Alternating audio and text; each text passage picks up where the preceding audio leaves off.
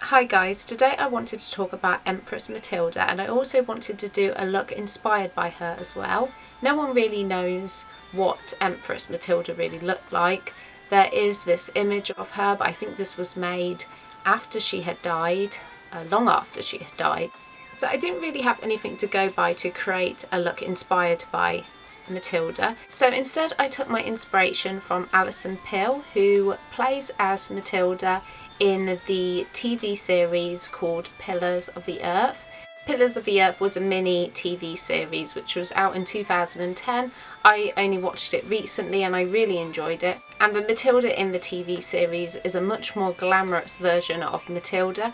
She, um, in a lot of scenes, wears what appears to be quite dark eye makeup, quite smoky. And then in other scenes it looks like she's wearing very minimal makeup, hardly any makeup at all.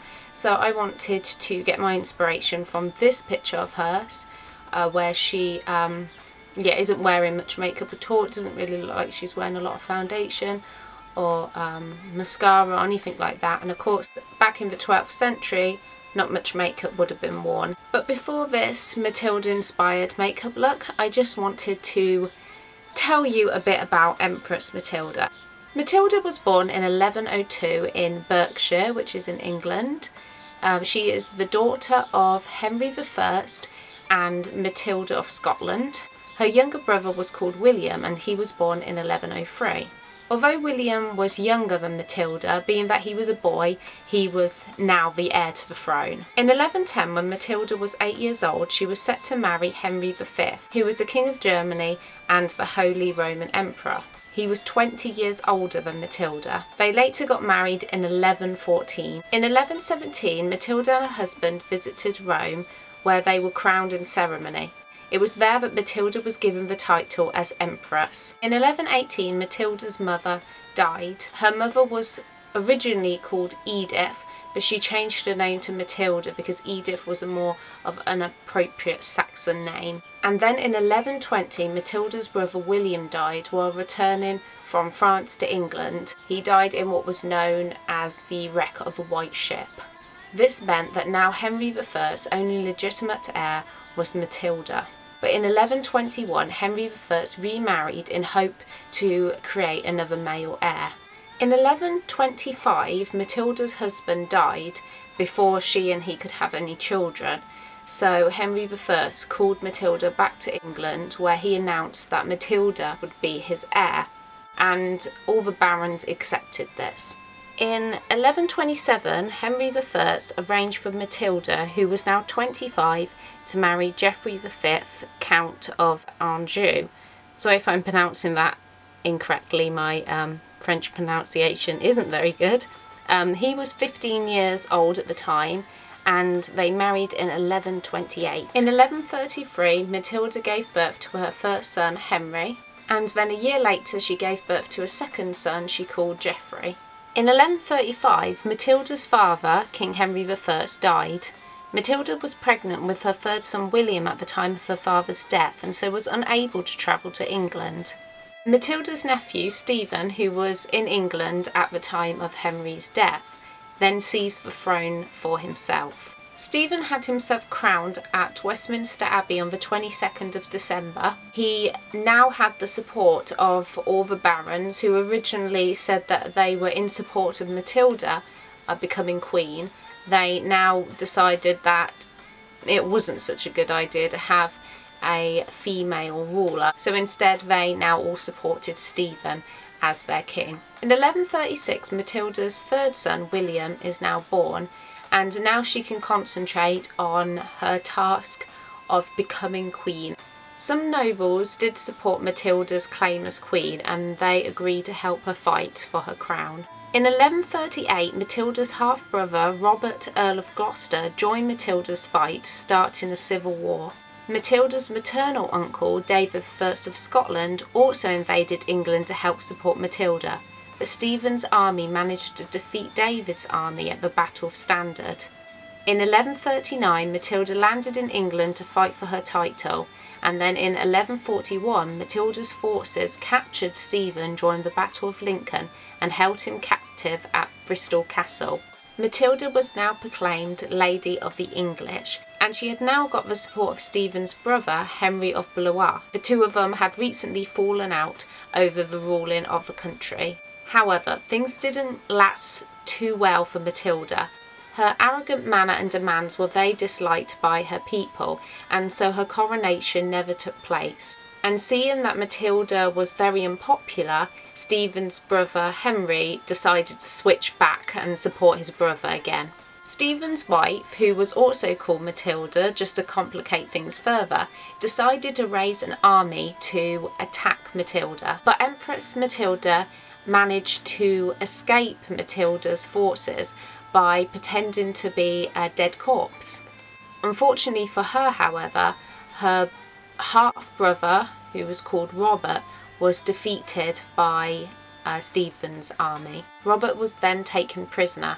Matilda and her half brother Robert were very close, so the news of his capture really devastated Matilda. And so she decided that she would release King Stephen if Stephen's wife Matilda agreed to release her half brother. So this trade took place and King Stephen was released. In 1142 Matilda was captured by Stephen's forces but again she managed to escape by doing one of her daring escape plans. She is very well known for her um, escapes and this escape is probably one of the most famous ones in history. She managed to escape Oxford Castle dressed in white and camouflaged against the snow. In 1147 Matilda's half-brother Robert died. Matilda was really saddened by this and decided to give up her fight to become queen and returned back to Normandy in France. Her eldest son Henry, however, continued her fight. In 1153, Stephen's eldest son Eustace died and after the death of his son Stephen realised that this fight was going on too long between him and Matilda and now him and Matilda's son Henry. And uh, he no longer had the ambition or the drive really to continue fighting. And so he decided to name Matilda's son Henry as his heir. But on the condition that he remained king for the duration of his life and that his other son William was um, able to keep his lands in France. This was agreed and Stephen remained king until 1154 when he died and then the crown went on to Henry who became Henry II. Henry II became the first Plantagenet king of England and although Matilda never became queen she was able to see her son become king. Matilda remained in France but was Henry's confidant and advisor until she died at the age of 65 in 1167. Matilda was proud, fearless and determined and in the end, although she lost, she won. Matilda's tomb reads, Great by birth, greater by marriage, greatest in her offspring, here lies Matilda, the daughter, wife and mother of Henry. So I hope you enjoyed learning a bit about Matilda's life. In many ways it's sad to think she never received the crown which she was promised but at the same time she managed to see her son become king and their family line continued so um, I look at it as she won really. So now I'm going to show you how I created this inspired makeup look.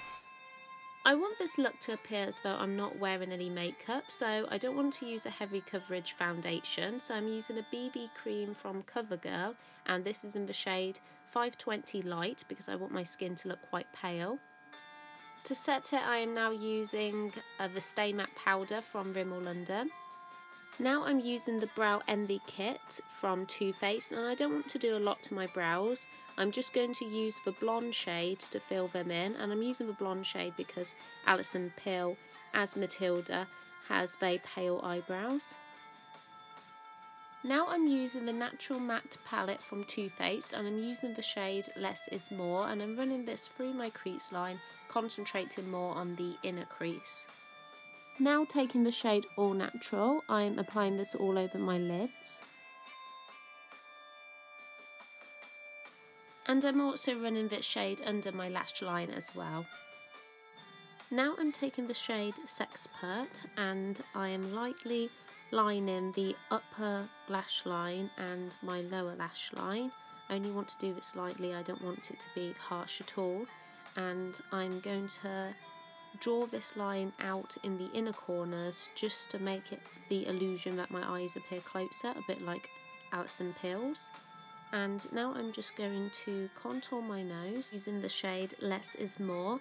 And Alison Peel has got a slight upturn to her nose, so to create this illusion I'm just drawing a line across my nose and then just going to blend this in and highlight the tip of my nose to help create this illusion even more. And for lipstick I'm using the shade 130 Intense Nude by Estee Lauder. And that completes this Matilda inspired makeup look. I really love this look. It really appears as though you're not wearing any makeup. It's very minimal and fresh. And now for the hair, I really wanted to copy this hairstyle from Alison. It's very very simple hairstyle to recreate. I don't have any clips but I have these hair bands and I am wearing a wig for this look. I thought it looked very similar to Alison's hair and so I'm taking a small front section of hair from both sides and I'm just going to tie three hair bands down the hair ensuring I leave a small section between each band.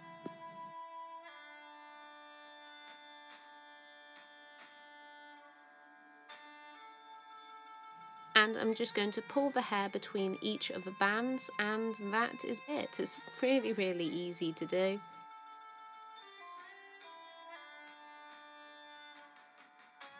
To really complete this look I'm going to add this really beautiful headpiece I bought from Amazon.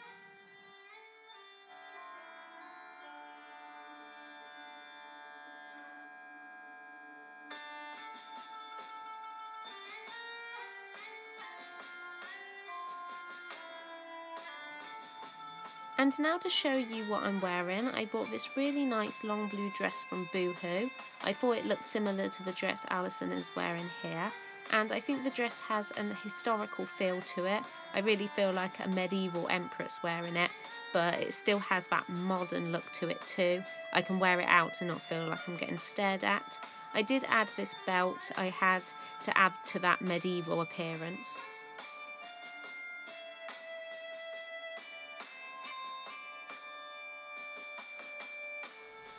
Thank you very much for watching this video. I really hope you enjoyed it and if you want to see more from me please subscribe. I'll definitely be making more videos like this. I love history and I love learning about different um, people throughout history and I think it's fun to add a makeup look with it too because I also love makeup so I really enjoyed doing this video today and um, I hope to see you in my next video. Bye!